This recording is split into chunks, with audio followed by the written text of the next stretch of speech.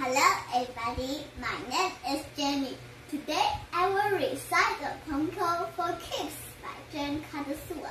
We had a talk over today. All my friend and I, he tried to steal my new red kite. Let daddy help me fly. He hooked and pulled. I pulled so hard and held the string so tight. All my friend gave up at last and let me kill my kite. That was my recital.